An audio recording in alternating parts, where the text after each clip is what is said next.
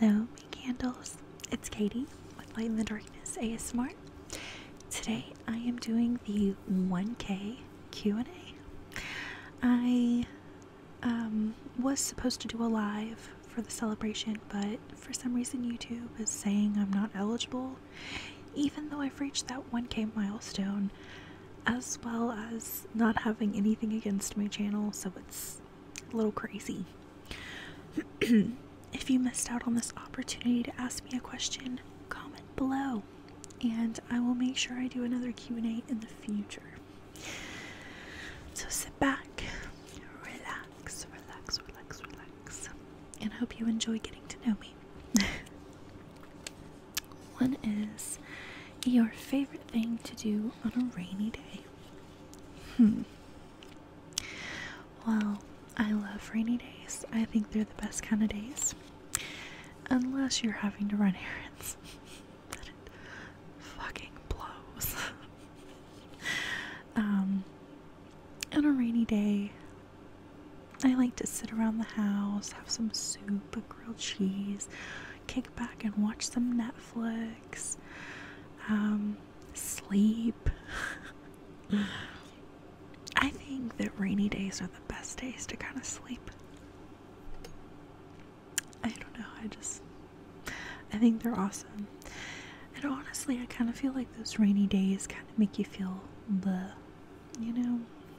Maybe that's just me. I don't know. Where do you live and what do you do for a living? Love you. I love you too. I um, actually live in Florida in the USA. Florida, Florida, Florida, the sunshine state. Um, I don't feel like saying any more than that just because of safety reasons for a living. Um, well, honestly, right now I'm not doing much of anything but YouTube and my Patreon. Um, I'm still working on a career choice. Uh, I, as I am in college, I took the semester off due to my grandmother's passing in December, so I didn't want to flunk out a semester, so you know. Um, I would like to see myself eventually do social work because that's what I'm working towards. But yeah, other than that, I basically just work from home. Let's see, the next question. What are your favorite activities to do in the summertime? Oh, girl. I'm a summer baby. My element is water, so anything having to do with water pool, the lake, the ocean, tubing, swimming, um, jumping off of cliffs in the water, anything having to do with water, I'm pretty much down. Um, water parks. um, wakeboarding, kind of here and there on that. Let's see. trying to think what other. I guess if it's not too hot, I used to um, play baseball, not softball, but baseball with my dad. Those are some things I like to do. I used to like go tanning in the summertime a lot when I was younger, but not so much anymore. It's more high school days. Next question. Where do you see yourself in 10 years? Oh man. This is a tough one. Um well it's not really that tough, but mm. So I would be really awkward about this one. no, it's kind of a serious thing to talk about, but I, when I picture my life 10 years from now, I would like to see myself having children um, if my body will allow that. I have some health issues. I just hope that it doesn't come down to me not being able to have children, or that would be tremendously heartbreaking um, for me because I have wanted children and the whole idea of motherhood since I was probably five years old. I have dreamt of being a mother. It hasn't happened yet, but maybe one day. Other than that, I am working towards a career for college. Whether that happens or not, I hope that I have. Excuse me, I'm so for some reason. Whether that happens or not, um, all I can do is just continue to work towards that, which is social work. Um, let's see. What else? I mean, you know, I used to think marriage that I had to get married um, to be with the one that I love. Well, I don't know, after being the child through a divorce, um, that kind of scarred me. And then to be in a relationship with my fiance who was married and got a divorce. Well, he didn't ask for it, but he basically got it ripped away from him and his child ripped from him. Uh, it's just really hard for me to kind of push myself towards marriage because there are fears that it could be ripped away at any point. And honestly, it's kind of, in a sense, it feels like marriage is almost like a piece of paper. Which it's more than that. It's much more than that. I know that, but it's just. I don't know. My thoughts and opinions on marriage have changed so much. Um, the way I see it is being with the right one doesn't actually have to consist of you being married with them. You can still live life without marriage. That's just kind of where I'm at. Um, whether my fiance and I get married or not, I don't know. We're happy the way we are right now, so it's there's no rush. No rush. Uh, anything else in 10 years? Well, I mean, a lot can happen in 10 years. I uh, really hope this channel will be grown quite a bit in 10 years. I hope that are still around. Because I sure hope to be, whether I'm as active or not, I hope to be around still for that. I think that's about all I have for the 10 years. I don't really know what else to say. um, how did you discover ASMR? And who was your first ASMR artist you watched? Love you, girl. I love you too. Um, oh, this is so easy. I first started watching ASMR, gosh, when I was in high school. Um, I believe it was like 2010, 2011. Sorry, there's a freaking bug in here and I don't know what's up. The bug's about to be shown what's up. But, anyways, it was like 2010 or 2011, one of those. And I, like, it's weird. but, like, my body was hurting so much from working that day that I was watching like foot reflexology and trying to figure out how to like massage my foot. And this lady had such a soothing voice. And I was like, what the hell? This is so nice. And I would listen to just that video and like not even watch her talking about foot reflexology. It was just I would listen to her and then there was this recommended video of an ASMR artist that came up and her name which I am a subscriber and I talk to her. Um, Starlight Whispers ASMR. you were the first ASMR artist I watched, and I freaking love you.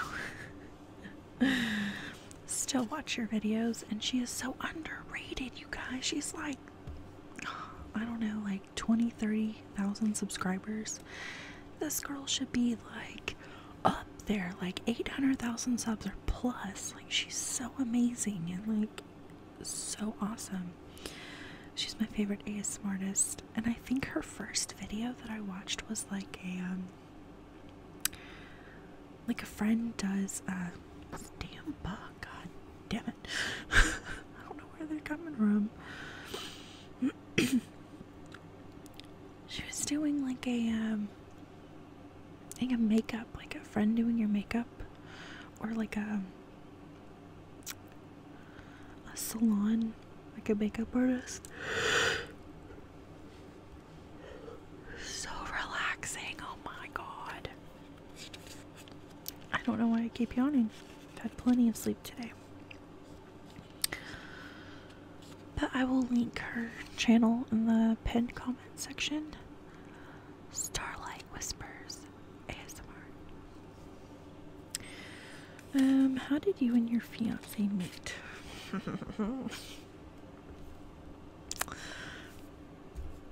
well,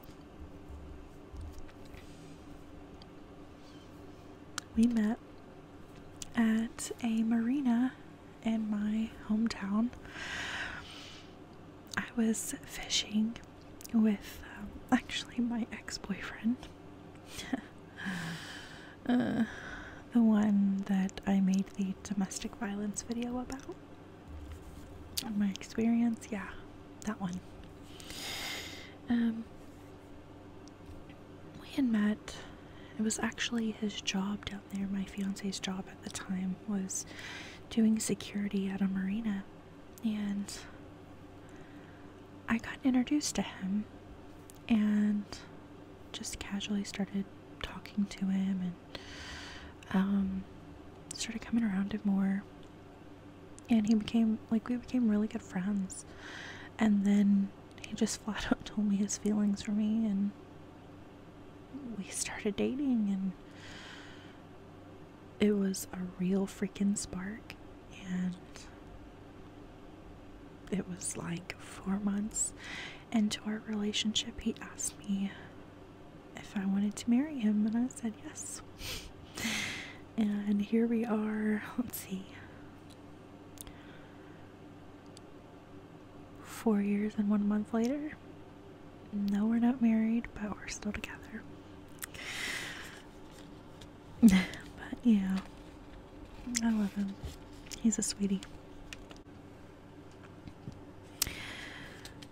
Uh, if you could live anywhere in the world, where would you live?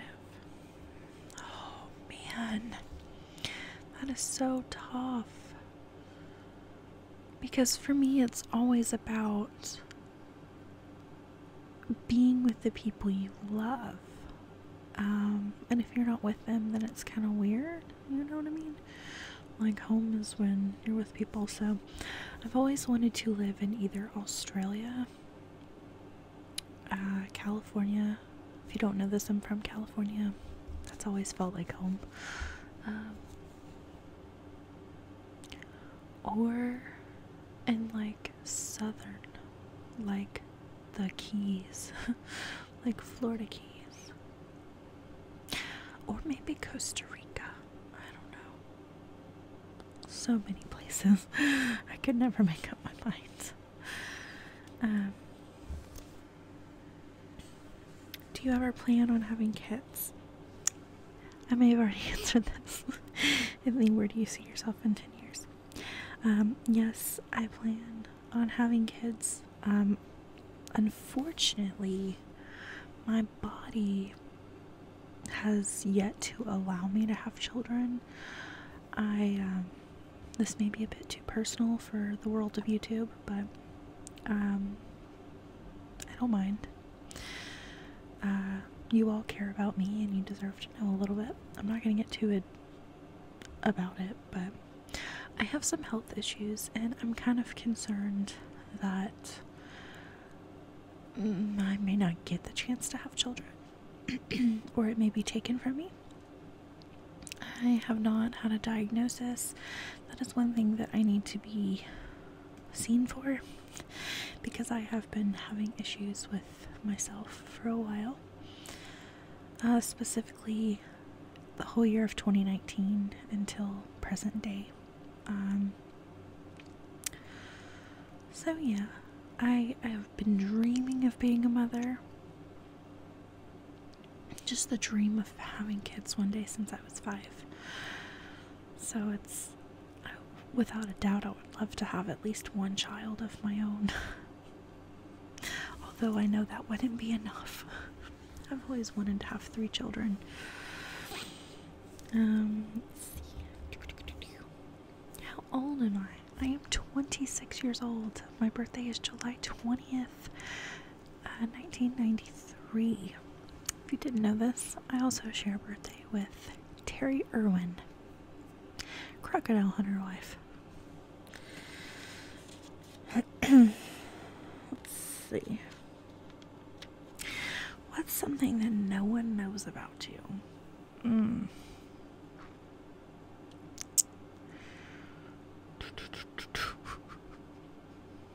I don't know. Oh, man, let me think about this. Okay. So, I mean, I guess it's kind of something that, um, not everyone can say. But not everybody knows this. Um, not the YouTube world, not a lot of people in my own life. One of my my high school sweetheart, the one that I dated in high school. Uh, so it's not really about me, but it's about somebody else. I dated the grandson of. I dated the music manager's grandson of Hank William Jr.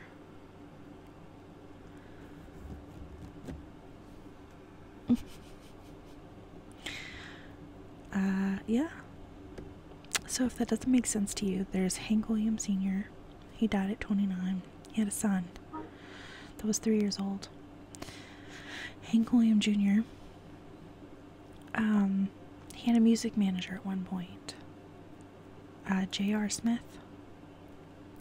Well, his grandson, I dated him for like a long time. We actually, I thought we were going to get married at one point, but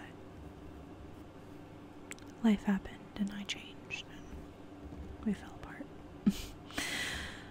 But, um, that is something that not everybody can say. Um, no, he's not still the music manager for Hank Jr. Uh, and speaking of that, I also had one of Hank Jr.'s jackets um, that was given to me by my stepdad. Another thing that people may or may not know about me is um, I can uh, a lot of people don't like this, but I can connect with the other side. Um, I have a spiritual gift. Uh, I was, I died when I was little. Um, when I was born when I came back, I have these abilities where I can kind of reach the other side, like talk to other people that have passed. Um, or they can come through to me. That doesn't necessarily mean my family. Um, but others have reached out to me. I'm kind of like a lighthouse to spirits. And I can't control it. um, yeah. I'm trying to think of what else I could say.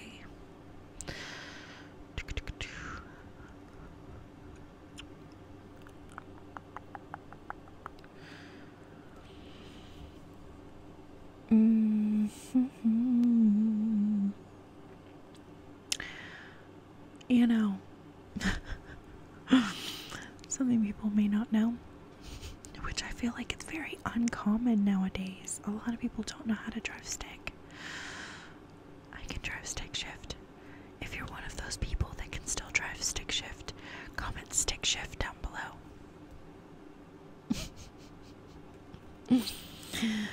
Uh, that's about all that I have. But thank you guys for reaching out to me and asking me those questions. I hope that you enjoyed this and hopefully I didn't bore you to death. but like I said, if there's any more questions you want to ask me, I will be trying to do another Q&A in the future. So comment below and I will do them in the future.